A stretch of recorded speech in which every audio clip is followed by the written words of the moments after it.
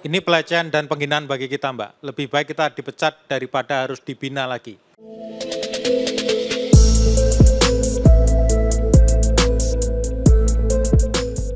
Siapa pun di antara yang 75 itu terpilih menjadi 24, kami akan tolak itu semua.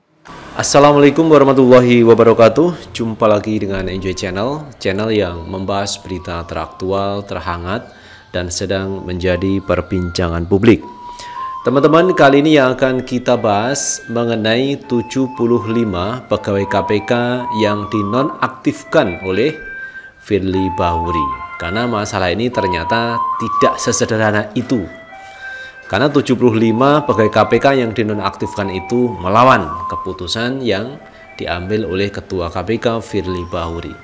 Sampai-sampai kita lihat kemarin eh, pegawai KPK yang dinonaktifkan itu melakukan perlawanan seperti melaporkan ke Dewas KPK, melaporkan ke Ombudsman RI, melaporkan ke Komnas HAM.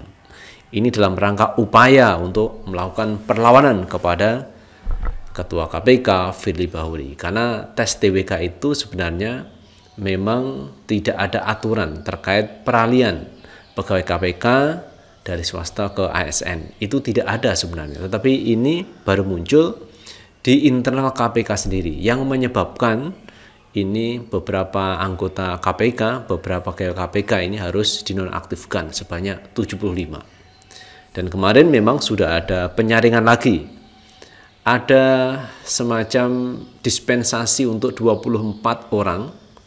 Jadi 24 orang ini masih bisa dibina. Tetapi itu pun kemarin juga ditolak oleh orang itu karena ada yang mengatakan bahwa lebih baik dipecat daripada harus dibina lagi terkait wawasan kebangsaan. Menarik untuk kita ikuti teman-teman dan kita akan baca beritanya dari CNN Indonesia. 75 pegawai KPK melawan, pilih dipecat daripada dibina kembali. Dan ini adalah perlawanan dari 75 orang, teman-teman. Sebanyak 75 orang pegawai Komisi Pemberantasan Korupsi KPK yang tak lulus tes wawasan kebangsaan TWK menyatakan melawan karena merasa dilecehkan. Mereka menolak dibina untuk bisa kembali mendapat kesempatan menjadi aparatur sipil negara ASN.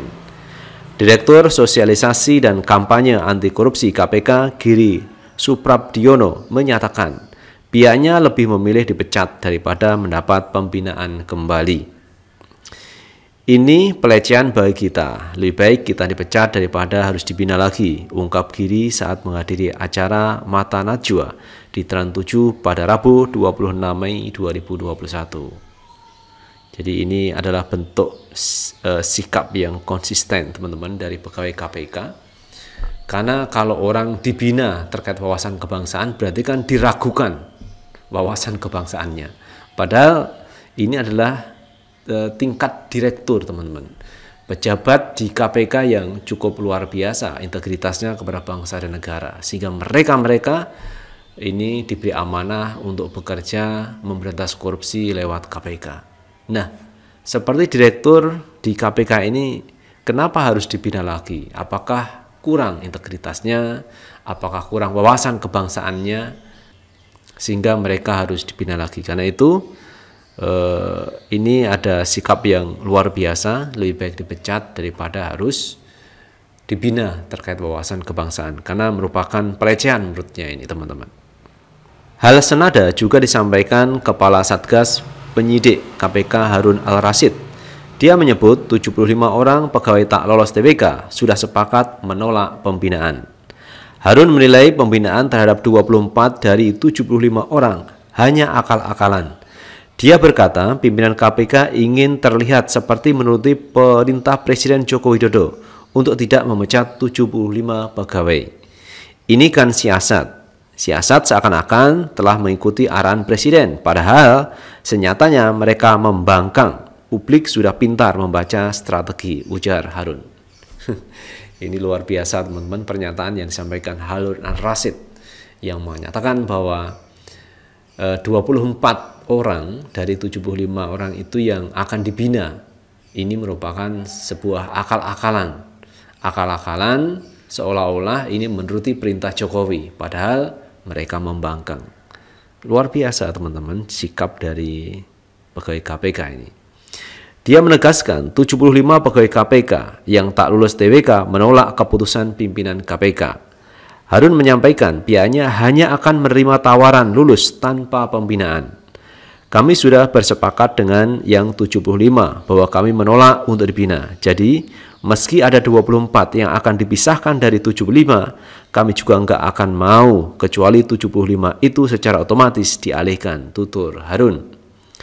Sebelumnya KPK menyatakan 75 orang tak lulus eh, tes wawasan kebangsaan. Tes itu digelar dalam rangka peralihan status pegawai KPK menjadi ASN. Setelah rapat dengan sejumlah lembaga atau kementerian, pimpinan KPK memutuskan memecat 51 orang pegawai, adapun 24 orang pegawai lainnya akan diberikan pembinaan. Ada 24 pegawai dari 75 tadi yang masih dimungkinkan untuk dilakukan pembinaan sebelum diangkat menjadi ASN. Sedangkan yang 51 orang ini dari aksesoris warnanya sudah merah yang tak dimungkinkan melakukan pembinaan. Kata Wakil Ketua KPK Alexander Marwata pada jumpa pers di kantor BKN Jakarta Timur Selasa 25 Mei 2021. Nah, itu teman-teman pernyataan resmi dari KPK bahwa 51 orang ini tidak bisa dibina lagi. Asesornya sudah merah dan akan dipecat dari KPK kalau tidak salah pada tanggal 1 November mereka sudah tidak bisa gabung lagi di KPK. Padahal kalau kita melihat teman-teman eh, orang-orang yang akan dipecat itu di KPK itu adalah orang-orang yang punya integritas yang luar biasa sejak zamannya Abraham Samad sampai sekarang punya integritas yang kuat terhadap pemberantasan korupsi. Apakah karena mereka punya integritas tinggi dalam pemberantasan korupsi harus disingkirkan? Kalau hanya wawasan kebangsaan, saya pikir mereka sangat paham tentang wawasan kebangsaan. Karena mereka para direktur, para penyidik senior, mereka berasal dari Polri, saya pikir punya integritas, punya wawasan kebangsaan yang cukup kuat. Toh nyatanya teman-teman lewat tes wawasan kebangsaan mereka tidak lolos. Dan ini yang dipersoalkan. Bahkan Maki ini akan mengajukan masalah ini ke MK. Menguji terkait TWK itu sah atau tidak. Karena sesuai dengan undang-undang sebenarnya TWK itu tidak ada dalam peraturan pemerintah maupun undang-undang eh, yang baru terkait KPK. Itu tidak ada. Nah, ini akan diuji oleh Maki di Mahkamah Konstitusi. Kita coba lihat beritanya teman-teman. Maki akan uji materi pemecatan pegawai KPK ke Mahkamah Konstitusi. Masyarakat Anti Korupsi Indonesia Maki akan mengajukan uji materi ke Mahkamah Konstitusi MK terkait pemberhentian pegawai KPK yang tidak lolos tes wawasan kebangsaan sebagai sarana alih status sebagai ASN. Koordinator Maki Boyamin Saiman mengatakan uji materi ke MK itu dimaksud untuk membuat pertimbangan putusan MK terkait alih status pegawai menjadi lebih kuat dan mengikat. Sebelumnya, putusan Mahkamah Konstitusi dalam perkara nomor 70 garis miring PUU strip 17 garis miring 2019 yang telah dibacakan pada 4 Mei 2021 lalu menyatakan Peralihan status menjadi ASN tak boleh merugikan hak pegawai KPK. Poin soal ketentuan peralihan ASN itu masuk dalam pertimbangan putusan. Lewat uji materi, maka akan meminta agar pertimbangan itu diubah menjadi putusan. Berarti selama ini Mahkamah Konstitusi itu memberikan pertimbangan, bukan keputusan. Pertimbangannya bahwa peralihan eh, pegawai KPK menjadi ASN itu tidak merugikan pegawai KPK itu pertimbangan. Nah, karena itu Maki ingin menguji supaya MK memberikan keputusan terkait status pegawai KPK yang akan menjadi ASN. Uji materi ke MK dengan maksud menjadi pertimbangan putusan MK menjadi lebih kuat dan mengikat dengan cara pertimbangan menjadikan amar putusan Mahkamah Konstitusi. Kalau dulu hanya berupa pertimbangan, maka nantinya akan menjadi putusan akhir dari produk MK kata Boyamin dalam keterangan tertulis Kamis 27 Mei 2021. Boyamin menyatakan rencana uji materi tersebut akan diajukan pekan depan. Ia pun meminta pihak terkait tidak melakukan upaya pemberhentian terhadap pegawai KPK sebelum ada putusan dari Mahkamah Konstitusi. Ini upaya dari MAKI, Masyarakat Anti Korupsi, teman-teman. Yang koordinator adalah Boyamin Saiman, menguji terkait putusan memecat 75 pegawai KPK. Jadi sebenarnya 75 pegawai KPK itu tidak sendiri. Banyak masyarakat yang mendukung perjuangan dari 75 pegawai KPK agar tetap di KPK, agar tetap berjuang memberantas korupsi di KPK. Karena mereka yang akan dipecat itu ada eh, ketua wadah KPK, kemudian ada penyidik senior KPK, Novel Baswedan yang cukup luar biasa integritasnya. Beliau sebenarnya dari Polri ditugaskan ke KPK dan dia mengundurkan diri dari Polri dan fokus di KPK. Ini sesuatu yang luar biasa integritasnya.